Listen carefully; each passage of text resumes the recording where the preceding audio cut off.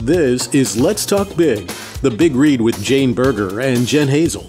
The Owens Community College Campus Read is taking place now and throughout the semester, with the goal of bringing awareness of different perspectives through books. The Campus Read book is Carry, a memoir of survival on stolen land, from 2020 recipient of the NEA Creative Writing Fellowship, Toni Jensen. It's a memoir and essays about gun violence, land, and Indigenous women's lives. Now sharing passages, topics, and events related to the book, Carry, a memoir of survival on stolen land, is Owens Community College Director of Library Services, Jane Berger, and Professor of English, Jen Hazel. Hello, everyone. I'm Jen Hazel, and I have with me Jane Berger. and we're here to talk big. Jane, do you have a passage for us today? In the repeating cycle of the girl's childhood, not all strangers who come to live in the houses are women, made to smile and beg to mind the children. In the childhood, the stranger men visit, they to and fro. They have access to everything. Everything is theirs. Now, there's a whole lot of stuff in chapter 9. If you want to start with any chapter and get a big bang, that would be the chapter to start with. So, this is also where they were talking a little bit about human trafficking. The companies that send their men in to do fracking. It's in kind of rural and remote areas, and this is where indigenous folks live. Webster's Dictionary defines fracking as I don't know, but here's what Jane Berger's definition of fracking is. So it's when companies come in and drill looking for oil, and it has been thought to really kind of wreck the environment, cause some minor earthquakes and such. If you want a better definition, I would refer to Webster's.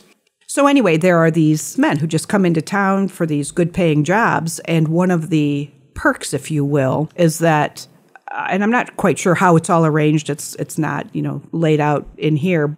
Somehow these indigenous women become their playthings, their toys, if you will. So when she says everything is theirs, everything, she literally means the women are theirs for the taking. It's just heartbreaking to me. I didn't realize the statistics, and that's a homework assignment for all of you listeners to look that up. That the statistics for Indigenous women who are trafficked is so much higher than non Indigenous women. And we already live in an area where human trafficking is Yeah. very high. Yep. If you are not aware of that, please look that up and be aware. The Toledo area is super high with 75 and Yep. people being able to get right over Yep. to the bridge into Canada is the reasoning for that if you're not aware, but it's frightening. gosh, how do you protect your girls? If you're in that position, you're powerless. As as a parent, as as an adult woman whose children, these are like 12, 13, 14 year old girls who are being offered up. How do you protect them? You just feel so powerless. I can't even as you stated, Jane, that it is like these are girls. These aren't even Yeah. women. And what is that saying? I mean, it's not okay even if it's women. Let me make sure I make that very clear.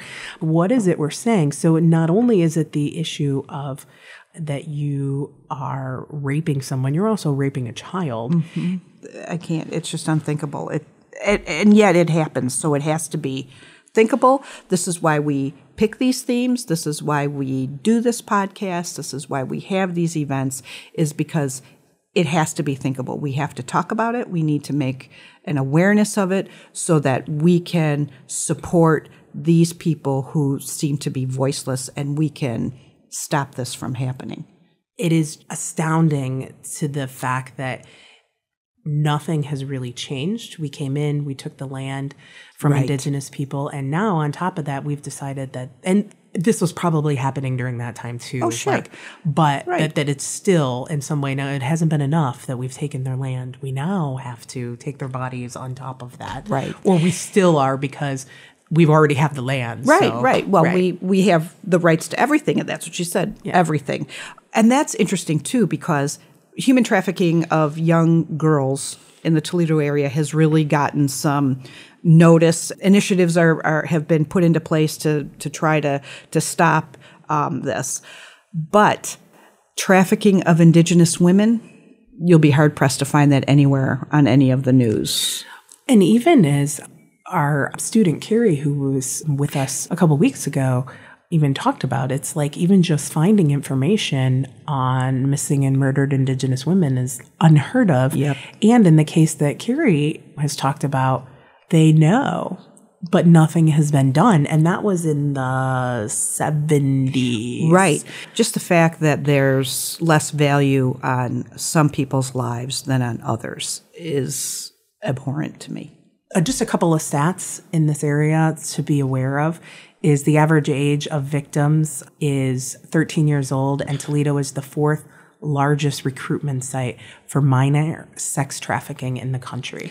As the mom of three girls who are now adults, just the thought that, my gosh, any of that, it could have happened. I, mm-hmm. Again, it, Well, it we is- are still I mine is Yeah, she's she's little, right, know. she's very little, she's a baby to even think about. And even now, as like I said, my youngest just turned 25, and the thought that somebody could do that to her, you know, she's five feet, 100 pounds, so mm-hmm. it wouldn't take much to overpower her. I mean, she's feisty, but it doesn't matter because mm-hmm. they have ways, and this is not for a discussion now, but the whole drug and fentanyl and how they, you know, render these girls not only powerless, they're like little rag dolls because they're not even awake when they haul them off to wherever they they land. And how many of them come out of it? How how many of them do we find and can say that this is a success we have been able to recover um, these girls? I don't know that. I do know that I have someone I know who experienced human trafficking and is now past that, from my understanding and from someone who had experienced it. I don't even have words. No. Like I can say no. horrific, but that's not strong No, enough of a word for uh-uh. that. Nope. I hate to have said all this and then end us for the day. on such a heavy note. Have a great day. right um, as a wrap up it's like yay but i think the importance is knowing the way toni jensen brings it out there and as you said jane like why is there not value on this human life and taking it back to what we experience every day if you do live in the toledo area be aware this is something to know Yep. please do be Just aware yeah, be aware. And if you see something that looks odd, call the police.